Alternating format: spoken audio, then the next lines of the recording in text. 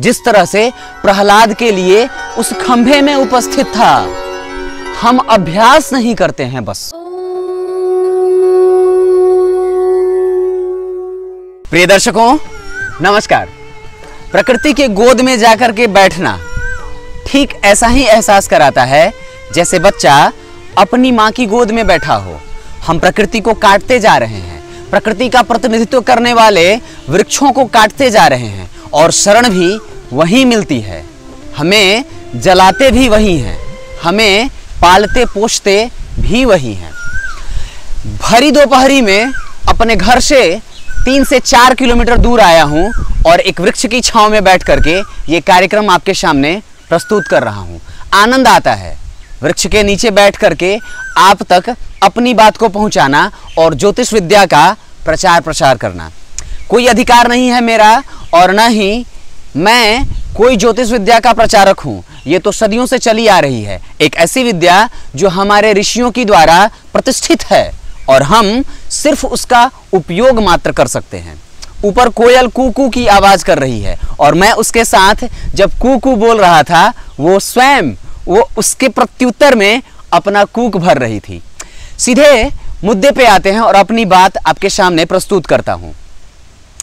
प्रिय दर्शकों, हर एक वस्तु, ध्यान से समझिएगा, हर एक वस्तु जो प्रायः हमारी नज़रों से दूर दिखाई देती है, हर एक वस्तु जो हमें असंभव सी प्रतीत होती है, उसे प्राप्त करना हमारे लिए संभव प्रतीत नहीं होता है, निश्चित रूप से वो हमारे लिए ही बनी है और हम उसको ज़रूर पा सकते हैं, सिर्फ़ अपने तप के बल पर, सिर्फ़ अपने प्रयास और अभ्यास के बल पर, ठीक उसी तरह से, बात को समझिएगा, ठीक उसी तरह से, जिस तरह से प्रहलाद ने अपनी भक्ति के बल पर खंभे में से भगवान को अवतरित कर दिया था।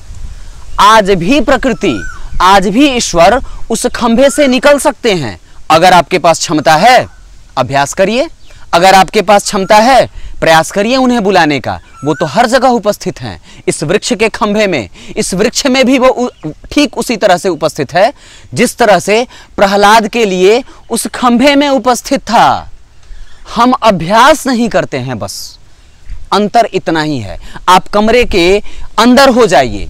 कमरे के कमरे के ताले को बाहर से बंद कर दीजिए और चाबी मांग लीजिए बाहर से अपने पास और तप करना शुरू करिए। अभ्यास करना शुरू करिए ईश्वर को याद करना शुरू करिए उसके समीप जाने का प्रयास करिए। चाबी खुलेगी ताला खुलेगा ज़रूर खुलेगा। बस अवस्था होनी चाहिए। आप कि, कितनी पराकाष्ठा के साथ उसमें आपकी भक्ति में कितनी मजबूती है। वो खंभे में से भगवान को जिस तरह से प्रहलाद ने उपस्थित किया था ठीक उसी तरह से हमारे लिए हर एक चीज़ जो प्रकृति के द्वारा बनाई गई है वो ज़रूर मिलेगी। बस अभ्यास करने की देर है और अपने तप को जगाने की देर है, तपोबल को मज़बूत करने की देर है। मुद्दे पे आते हैं एक बार फिर से। आज मैं आप लोगों के सामने उपस्थित हूँ। पिछले कार्यक्रम में हमने जाना था चैत्र, वैशाख और ज्येष्ठ माह में जन्मे जातकों के बारे में और उनके स्वभाव और प्रकृति के बारे में। आज हमारी चर्चा होगी आषाढ़ और श्रावण मास में जन्मे, जातकों का स्वभाव, प्रकृति और वर्ण कैसा होता है, उस पर चर्चा करेंगे। प्रिय दर्शकों, मैंने यहाँ बोर्ड पे लिखा है, माह जन्म फल में सिर्फ़ दो माहों की चर्चा करेंगे आप। कार्यक्रम लंबा होने की वजह से मैं आज सिर्फ़ दो माहों के जन्मफल के बारे में बताऊँगा, क्योंकि कुछ लोगों का कहना था कि आपका कार्यक्रम थोड़ा बड़ा हो रहा है और YouTube शायद आपको यह बताता है कि कार्यक्रम छोटा बनाइए, इससे व्यूज़ अच्छे मिल जाते हैं, शायद।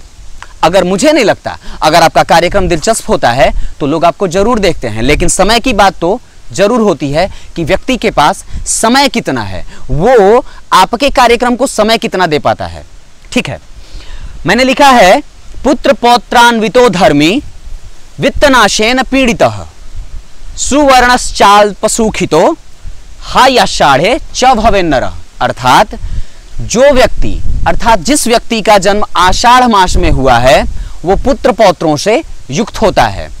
उसके संतति अधिक मात्रा में होते हैं, दो से तीन से चार से पाँच।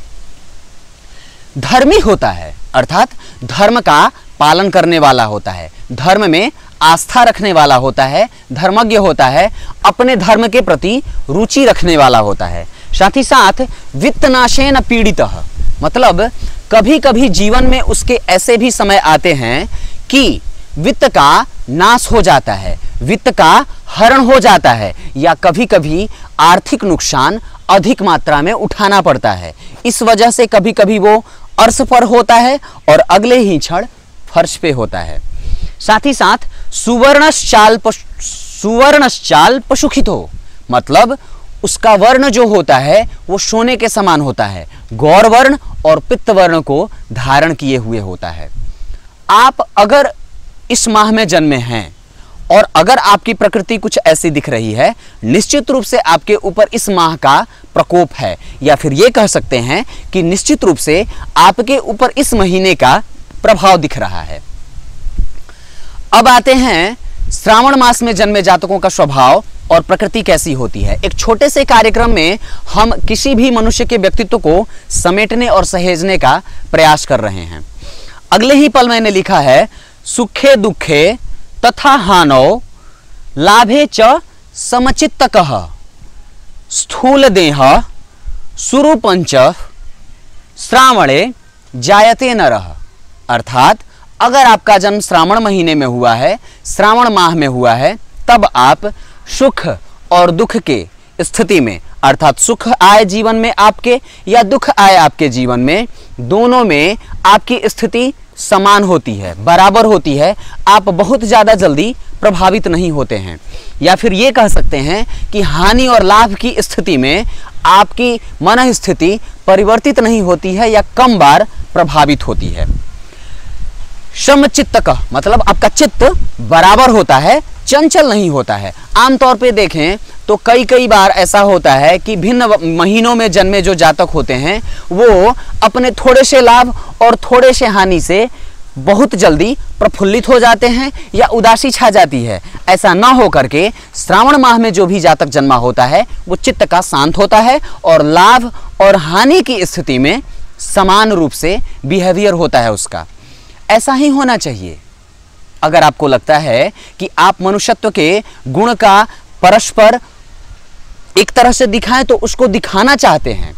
अपने सगे संबंधियों के साथ कुछ ऐसा व्यवहार करिए कि वो आपको अगर माला पहना देता है तो भी संतुष्टि का भाव रखिए। और अगर आपको कभी कुर्सी से उतार देता है, तभी भी आप संतुष्टि ही रखिए। क्योंकि सच, सच्चे दृष्टि से अगर देखें तो मनुष्यत्व की परिभाषा भी यही कहती है कि सम दुख दुख और सुख में। हमेशा सुख और दुख में अपने आप को बराबर का भाव रखिए। अपने मन स्थिति को बराबर रखिए। नीचे लिखा है मैंने, स्थूल देह स्वरूपश्च।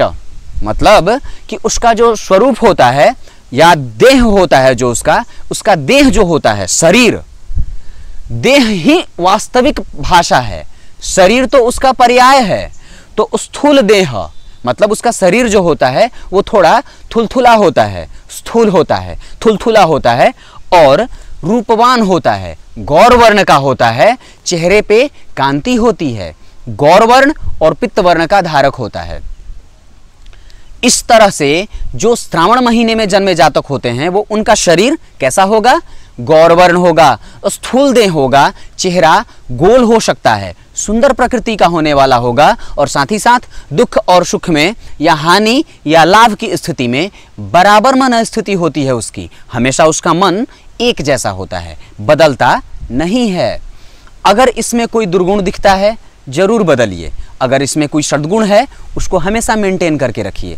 क्योंकि यह व्यक्ति वही होता है, जो अपने सद्गुणों को पहचान करके उसको हमेशा बरकरार रखता है। कुछ इसी तरह से आज के कार्यक्रम को संक्षेप में ख़त्म करते हैं। हवाएँ बहुत चल रही हैं तेज़ी से और बनाने में दिक्कत हो रही है। आप समझ सकते हैं। अब कार्यक्रम को यहीं समाप्त करते हैं। आशा है आपके ऊपर इन दोनों माहों का, इस ज्योतिषीय प्रभाव को देखा जा सकता है। और निश्चित रूप से आप अपने जीवन के ऊपर इसे घटित होते देखते होंगे। कुछ इसी तरह से आज के कार्यक्रम का समापन करते हैं। तब तक के लिए इजाज़त दीजिए।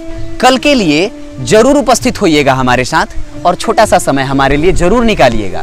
तब तक के लिए इजाज़त दीजिए। नमस्कार।